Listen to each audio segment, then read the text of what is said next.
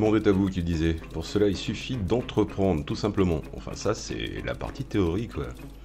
Parce que, en réalité, si on regarde bien, la gestion d'une boîte, c'est pas ce qu'il y a de plus passionnant dans la vie. Et pourtant, il y a des gens euh, qui n'ont désespéré de rien et ils se sont dit on va faire voir aux petits jeunes comment ça marche les boîtes. On va leur donner l'esprit start-up. Ouais, on va monter ce jeu Tech Corp.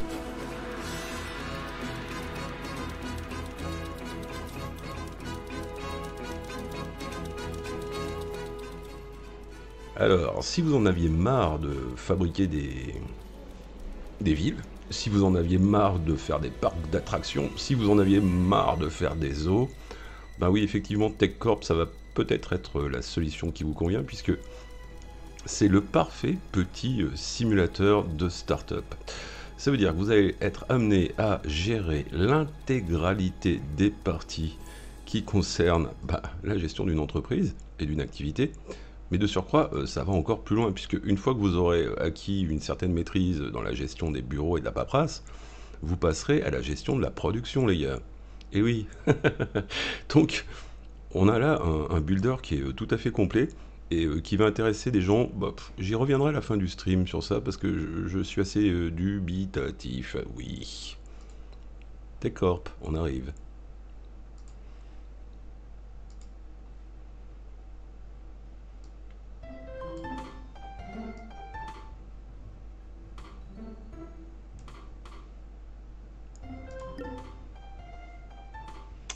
Donc euh, voilà notre petit euh, lieu de travail à nous devant l'écran.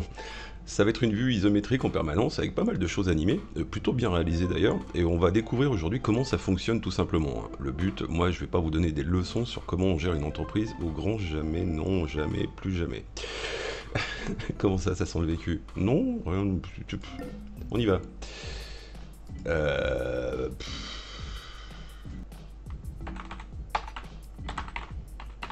C'est déjà dur de trouver un. C'est déjà dur de trouver un nom pour une boîte. Alors, dès que vous démarrez, le jeu vous invite déjà à choisir un emplacement, sachant que bah, tous les emplacements ne se valent pas si on regarde bien les stats qui sont en bas de l'écran. D'accord? Donc, par exemple, si j'ai l'excellente idée d'aller en Centrafrique, on va voir ben, les intérêts sont pas très très élevés sur le marché d'électronique, qui est mon marché apparemment, électronique et logiciel, et qu'il est à fond sur les jeux. Alors il y a deux options, c'est soit vous êtes très courageux et vous dites je vais développer l'intérêt pour euh, ces euh, devices qui n'intéressent personne, ou vous y allez euh, pour ce qui est déjà établi, sachant qu'il y aura peut-être de la concurrence, faut savoir. En bon européen, ben, on va aller chez nous, on connaît un petit peu les lieux, et puis apparemment les gens sont très fans de portables, de téléphones mobiles et de jeux, ça tombe bien. C'est sélectionné.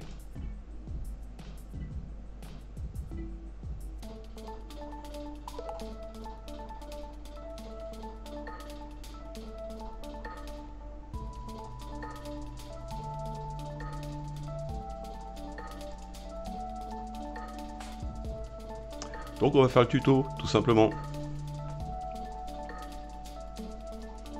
Alors, le tuto nous invite à déjà aménager les bureaux. Pour aménager les bureaux, bah, on a un montant de départ hein, qui est là-haut. Il va falloir faire gaffe à pas trop faire le couillon avec le mobilier. Enfin, du moins, au démarrage. On va acheter un bureau de base, tel que demandé.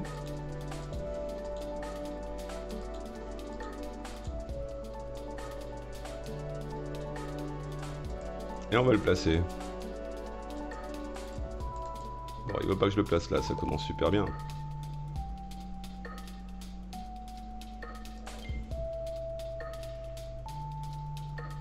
Maintenant, il va falloir que ce, bureau ben, soit occupé, sinon j'avance pas. Et donc, il va falloir que je recrute. Écoutez, c'est là. Il y avait des onglets. Alors, euh, c'est quoi qu'il faut que je... Un exécutif des ventes, ok on peut régler bah, ses prétentions, hein. et puis la durée. Parce que vous allez voir que le jeu, et euh, ça c'est un des trucs que j'ai trouvé assez euh, horrible, le jeu vous balance à l'écran une quantité de fenêtres en même temps, euh, ça devient rapidement indécent. De surcroît, parmi ces fenêtres, il y en a certaines qui sont là juste pour informer. Il y en a d'autres qui sont là pour des events temporaires, temporaires con. Ça veut dire que, bah, vous allez le voir pour le recrutement, je vais avoir un temps donné pour euh, faire mon recrutement. Et euh, si je m'occupe d'autres tâches en même temps, ça va être un petit peu le bordel. Il y a moyen que je passe à côté de bonnes opportunités ou au contraire que, que je fasse n'importe quoi.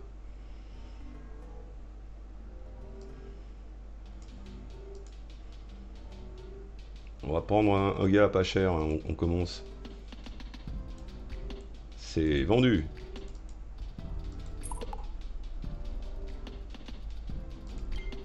Hop. Donc, mon employé, je vais vite me le mettre derrière un bureau. Non, on va pas le virer tout de suite, il n'est pas encore commencé à bosser le pauvre. Au boulot mon pote.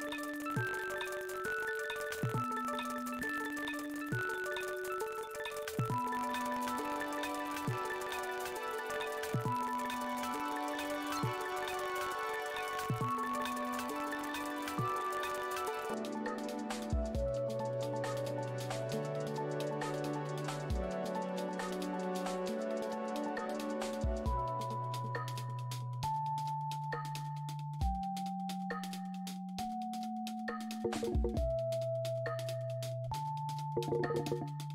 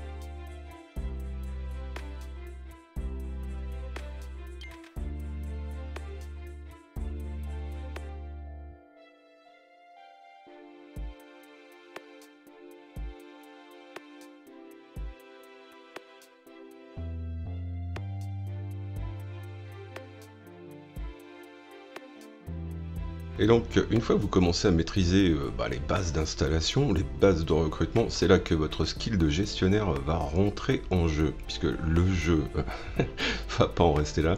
Il va y avoir des challenges à relever, puisqu'il va falloir rentrer de la monnaie, les gars. Rentrer de la monnaie bah, pour continuer de s'agrandir, euh, rentrer de la monnaie pour continuer de recruter, et puis rentrer de la monnaie pour créer des euh, produits. Le jeu est vraiment super, super complet. Euh, vous avez même une partie, dès que vous atteignez un certain niveau, où vous pouvez faire de la recherche et du développement, et là vous, rentrez carrément dans le mode production des objets que vous avez imaginés.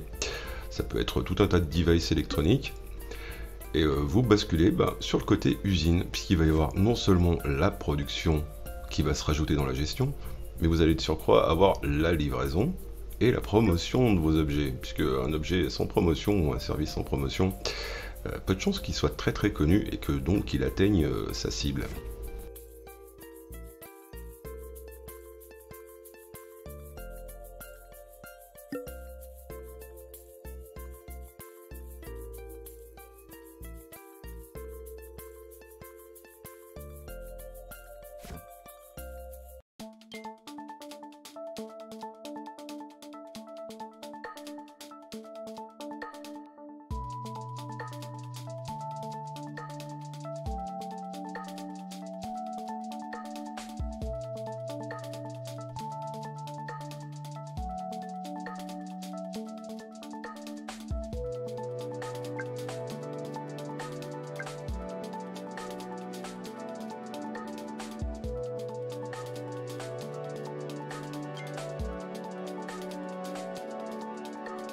D'une manière globale, euh, TechCorp est plutôt réussi parce que visuellement euh, c'est très agréable.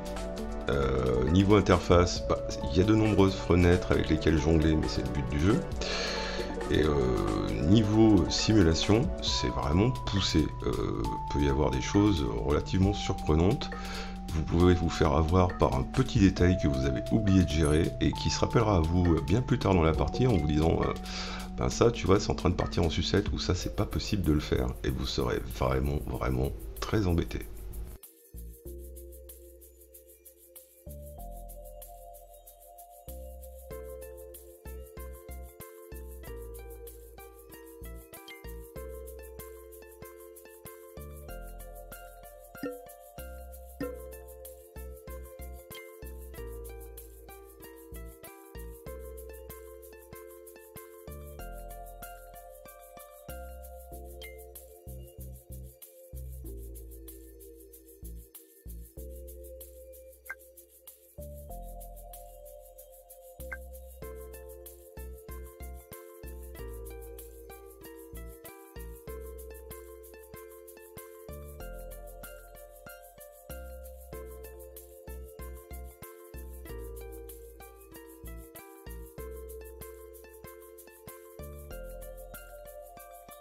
À qui s'adresse le jeu Alors ça c'est assez particulier parce que moi je dois vous avouer, euh, les premières parties m'ont fait beaucoup rigoler. Parce que j'imaginais quelqu'un qui passe déjà sa journée au bureau euh, dans une activité qui n'est pas forcément glorieuse ou euh, enrichissante, et qui le soir se mettrait sur ce genre de soft. Oui, il faut aimer la paperasse, oui, il faut aimer la gestion, puisque ça, se résume vraiment à ça. Et, niveau builder, on, est dans l'essence même du jeu c'est bien ce mot-là, c'est le mot gestion.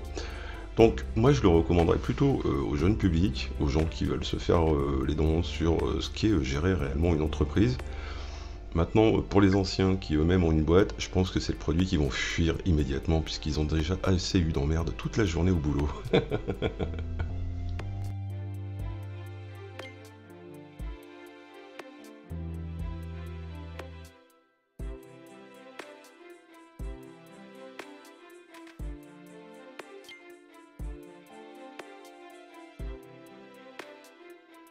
Euh,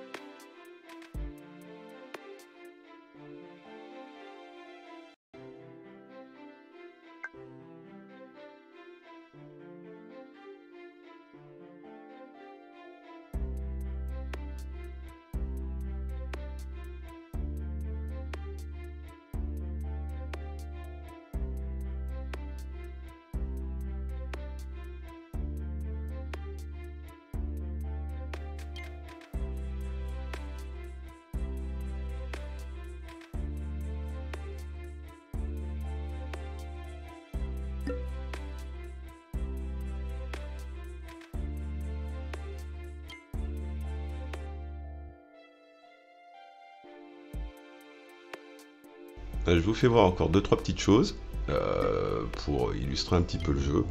Et maintenant, je vous laisse vous faire votre propre idée, sachant que c'est dispo euh, sur les magasins de dématérialisé.